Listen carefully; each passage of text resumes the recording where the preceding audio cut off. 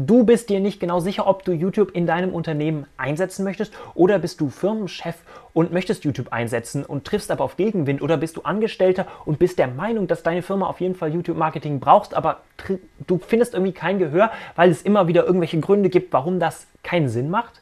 Dann ist dieses Video genau für dich, denn ich möchte dir mal so den größten Ausreden, den größten Missverständnissen, den größten quasi Gedanken, die Leute haben, warum YouTube-Marketing keinen Sinn macht für Unternehmen, den möchte ich mal auf den Grund gehen, mal gucken, warum die meisten Quatsch sind und warum sich YouTube-Marketing doch lohnt.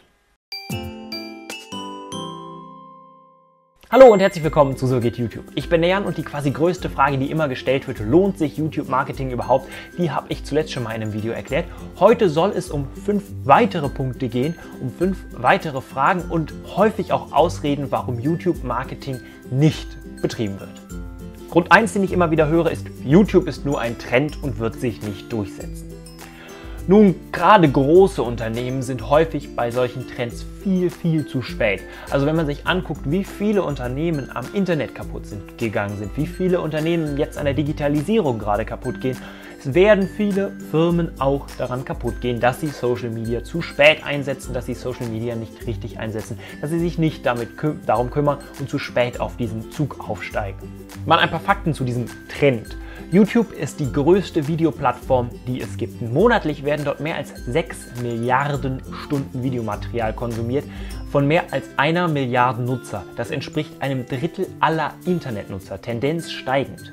Denn YouTube wächst immer weiter und es kommen immer mehr Nutzer hinzu. Im Vergleich zu 2014 gab es 2015 40% mehr Nutzer auf YouTube. Das ist ein extremes Wachstum und es wurden 60% mehr Videomaterial pro Nutzer angeguckt. Das ist ja auch ein riesiges Wachstum. Daher kann man fast jede Zielgruppe auf YouTube finden und vor allem die junge Zielgruppe kann man auch nur noch auf YouTube finden und zum Beispiel nicht mehr im Fernsehen. Und selbst wenn es wirklich nur ein Trend ist, gucken wir uns das doch mal an. Ich meine, MySpace wurde zum Beispiel irgendwann von Facebook ersetzt und Facebook ist gerade auch eher auf dem absteigenden Ast und es gibt neue Plattformen wie Instagram oder Snapchat, die Facebook gerade so ein bisschen am Ablösen sind, gerade bei der jungen Zielgruppe. Aber dann wechselt man halt auf die neue Plattform und nimmt seine Zuschauer mit. Wenn man rechtzeitig ist, ist das überhaupt kein Problem und dann hat man da auf dieser neuen Zielgruppe einen unglaublichen Vorsprung. Wenn man jetzt nicht startet, dann startet man auch auf der nächsten Plattform nicht, falls es die gibt. Und ähm, dann bringt das gar nichts. Das heißt, lieber jetzt starten, sich damit schon mal den Vorsprung erarbeiten.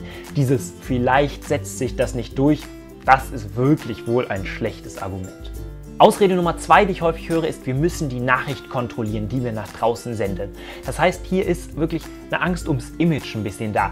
Denn, und das ist berechtigt, natürlich in der Anonymität des Internets schreiben unter YouTube-Videos in die Kommentare Nutzer unter Umständen schon mal gemeine Dinge. Und das kann man auch nicht so wirklich kontrollieren. Problem ist natürlich, die Leute reden so oder so, egal ob man es will oder nicht. Und es lässt sich noch viel weniger kontrollieren, wenn man nicht mitspielt. Denn dann reden die Leute halt in irgendwelchen anderen sozialen Netzwerken, unter irgendwelchen anderen Videos, ähm, in irgendwelchen Foren und so weiter. Das heißt, die Leute reden sowieso. Ein Unterschied und mitreden kann man nur, wenn man auch mitmacht. Und nur dann, wenn man sich aktiv da reingibt, wenn man aktiv auch mit den Leuten redet und zum Beispiel dann auch mal Verwirrungen oder Missverständnisse dadurch ausschließen kann und daraus durch auflösen kann, dann bringt das was. Nur dann kann man das auch ver verändern. Dann kann man auch die Nachricht, die man nach draußen transportiert, wirklich beeinflussen. Denn wenn man nicht nach außen kommuniziert, dann kommunizieren die anderen. Und was die kommunizieren, ist dann natürlich die Frage. Dritter Grund, den ich manchmal höre, ist, ich habe nicht die Zeit, mich darum zu kümmern, was jeder einzelne Hinz und Kunst so sagt. Nun, dieser einzelne Hinz oder diese einzelne Kunst, der hat aber durch Social Media eine riesige Möglichkeit, riesiges Sprachrohr quasi. Und wenn da Leute ziemlich unzufrieden sind, dann äh, kann das auch mal zu Problemen führen. Das heißt, gerade in unserer heutigen vernetzten Zeit macht es schon Sinn, sich auch um seine Kunden zu kümmern. Und es macht sich immer Sinn, um seine Kunden zu kümmern. Wer sich nicht um seine Kunden kümmert, hallo, also das ist ja wirklich. Ähm, also die Zeit sollte man investieren, zumal man eigentlich gut Zeit damit sparen kann, gerade mit einem Format wie Videos. Denn man kann in Videos wie FAQs oder so auf grundlegende Fragen, die sehr häufig gestellt wird, einfach mal eingehen, den Leuten das erklären. Man kann dann in Zukunft auf das Video zum Beispiel verweisen und so weiter. Das heißt, man erspart sich damit eigentlich viel mehr Zeit, als man sich Zeit damit macht. Vierter Grund, es läuft doch auch gut ohne. Nun, das ist wirklich kein gutes Argument, oder? Ich meine, es lief auch mal gut ohne Computer, es lief auch mal gut ohne Handys oder ohne Internet.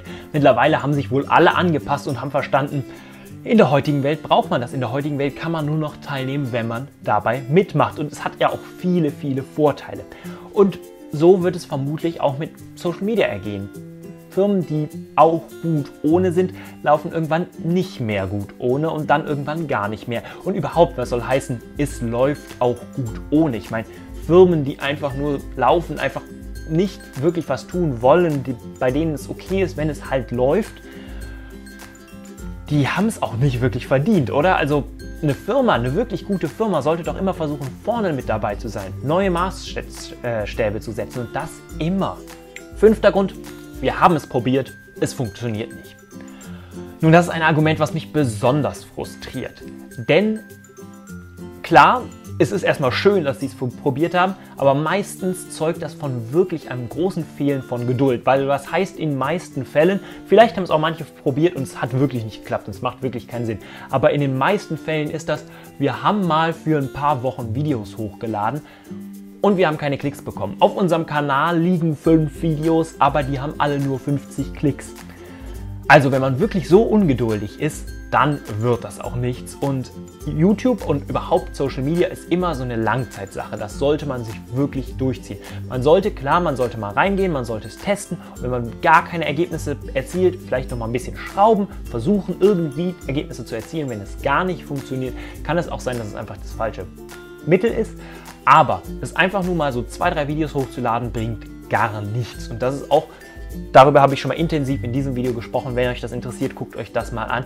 Da habe ich euch erzählt ein bisschen, wie man das verhindern kann, dass man nach kurzer Zeit wieder aufhört, wie man sich Systeme schafft, dass man nicht aus Versehen quasi aufhört und so weiter, weil das Durchhalten ist quasi wirklich am Anfang eine der wichtigsten Sachen. So, ich hoffe, ihr habt einiges Neues gelernt. Ich hoffe, ich konnte euch ein paar Argumente liefern, warum YouTube-Marketing sich lohnt und wenn ihr euch jetzt für YouTube-Marketing interessiert, wenn ihr euch für YouTube interessiert, wie ihr einen großartigen Kanal aufbauen könnt, dann abonniert doch diesen Kanal. Hier erkläre ich euch alles, was ihr dafür wissen müsst. Und wenn ihr unter Unternehmen seid, wenn ihr ein Firmenchef seid, wenn ihr euch näher dafür interessiert, wie man Marketing wirklich für Unternehmen einsetzt, dann schreibt mir doch an info@sogehtyoutube.de. Dort ähm, ja, werde ich eure Fragen beantworten. Falls ihr Fragen habt, natürlich auch unten in den Kommentaren. Und ich würde sagen, wir sehen uns im nächsten Video. Tschüss! Euer Jan.